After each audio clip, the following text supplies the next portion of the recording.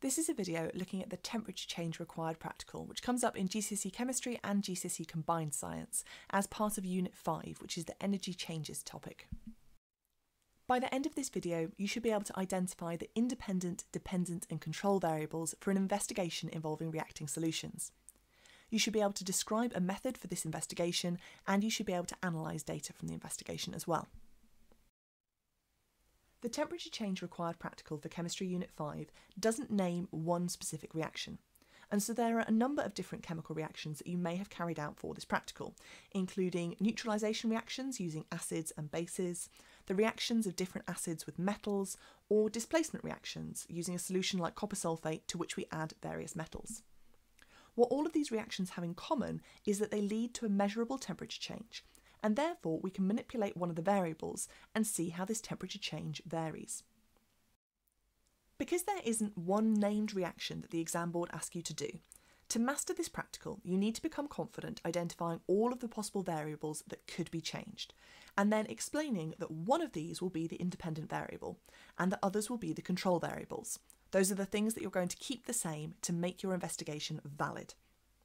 Your dependent variable for every single one of these possible reactions will always be the temperature change. For this video, I've chosen to investigate the reaction of metals with copper sulfate in what we call a displacement reaction.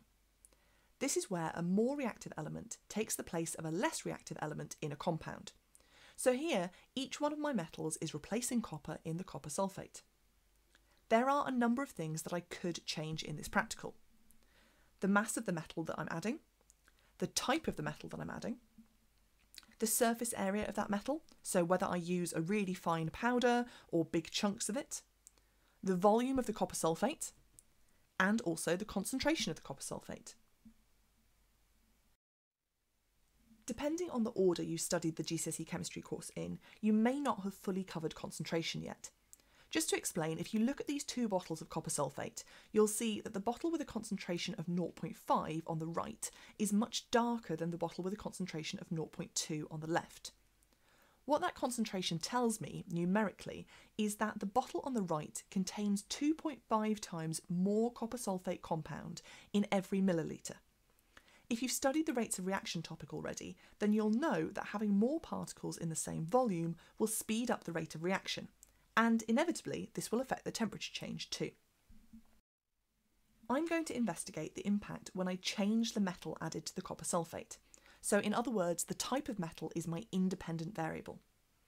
This means that I need to keep the other four variables I identified, the mass of the metal, the surface area of the metal, the volume of the copper sulfate solution, and the concentration of the copper sulfate solution, the same. To carry out the practical, I need a measuring cylinder to measure the volume of my copper sulfate, and a balance and a weighing boat to measure the mass of the metal I'm adding. This spatula will help me to accurately add small quantities of metal to the weighing boat. I'm also using a polystyrene cup as my reaction vessel because this is going to retain heat better than a glass beaker, so it makes it easier for me to measure the temperature change. Ideally, I'd want to use a lid in this practical, but in this video I'm actually not going to because it kind of blocks the camera angle. To measure that temperature change, I need a thermometer, and I will use this to take readings at the start and the end of each reaction, so that by using those two readings, I can work out the temperature change. I start by measuring a set volume of copper sulfate solution. Here I'm going to use 10 centimetres cubed. If you were writing a method for this, say as an answer to a six mark question, you wouldn't need to name a volume as long as you specified that it was the same for every reaction, but it often takes fewer words to just say measure 10 centimetres cubed. It's important that you remember to take the initial temperature of the solution because the temperature in the room might change over the course of the time that you're doing the investigation, so it's not necessarily always going to start as exactly the same. Here I can see on my thermometer that this copper sulfate solution has a starting temperature of 16 degrees C. Now I'm going to use the balance to calculate the mass of the metal that I'm adding, which here for my first experiment is going to be magnesium. Here I'm adding 0.5 grams. So I use my spatula and gently tap it to add a little bit of magnesium at a time until I've got exactly 0.5 grams. And then I can add that in to my copper sulfate solution, tapping the weighing boat to make sure that it all gets in there. I give it a little bit of a stir to make sure that it's well mixed. And then I'm going to watch the temperature until it stops rising. And at the point that it reaches its highest temperature, that's what I'm going to record as my final temperature, and I'll use that to calculate the temperature change.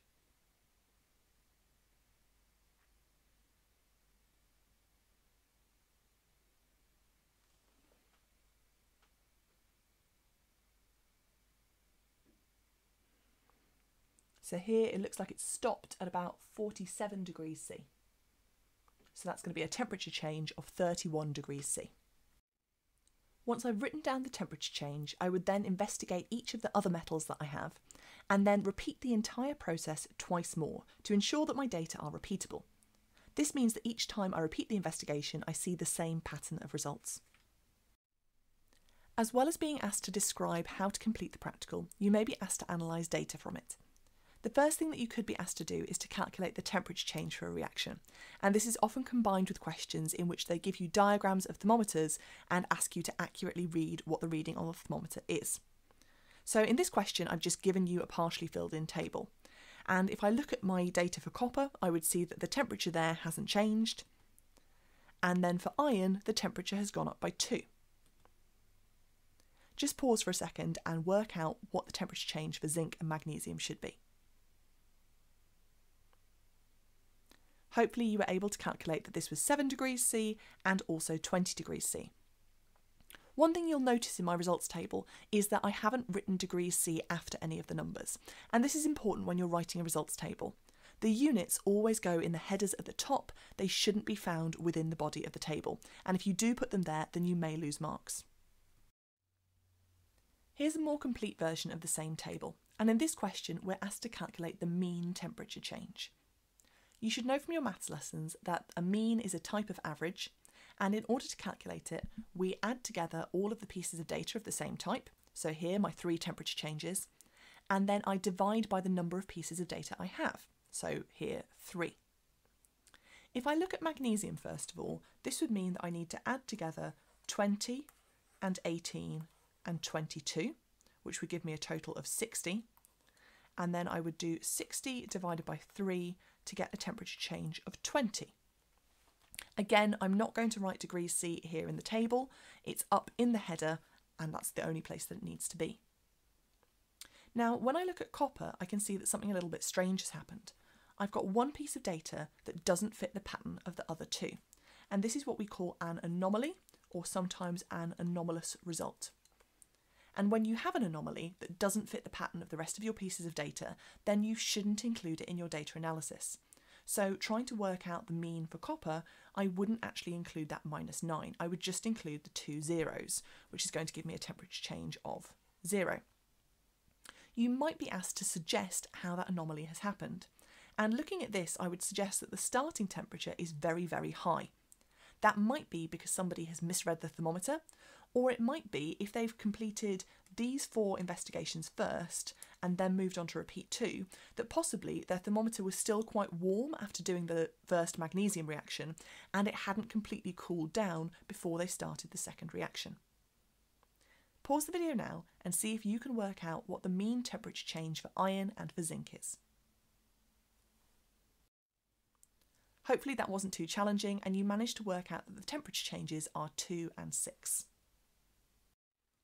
You could be asked to display the data from this investigation in a graphical form, and for the particular version of the investigation that I've done, the most appropriate form would be a bar chart, because my independent variable is categorical. One thing that you should be aware of is that, particularly in the higher paper, you may be given a blank piece of graph paper and asked to pick your own scale. It's important that your data take up at least half of that piece of paper, and really as much of the graph as you possibly can. The other important thing to be aware of with a bar chart is that there should be gaps between bars. And again, this is because the data is categorical. So what this means is that the results that I have for zinc are completely independent and separate from the results I have for magnesium. And so they shouldn't have bars that are touching each other. Now, not every investigation that you could do for this required practical would require a bar chart. If, for instance, we'd looked at the mass of the metal being added, or here the concentration for the copper sulfate, these are continuous data. And so therefore it's more appropriate for us to do a scatter graph. but again, it's important that we use up as much of the graph paper as possible. Finally, you need to be able to evaluate how good this investigation is. One area where students often lose marks is that they see a word like valid or repeatable or accurate and they think that it just means good. But actually, each one of these words has a specific meaning that you need to understand. So, firstly, we might assess the validity of the experiment. An experiment is valid when the only thing that has changed is the independent variable. So, this investigation that we've done does produce valid data because the experiment is well controlled. Now, that doesn't just mean that I've been watching to make sure that year 9 didn't add the wrong thing, it means that there are lots of control variables. So every time I did the experiment, I used the same volume of copper sulfate and I used the same mass of metal. The only thing that was changing was the type of metal that I added. The second thing is repeatability. So in order to assess this, I need to look back at my results table. If I look at my first experiment for each metal, magnesium gave me the highest temperature change, followed by zinc, followed by iron, followed by copper. If I look at my second set of investigations, then again magnesium is highest, followed by zinc, followed by iron, and actually here we have to exclude copper because that was an anomalous piece of data. But then if we look at the third set of data as well, still magnesium highest, followed by zinc, followed by iron, followed by copper. In other words, I get the same pattern every time.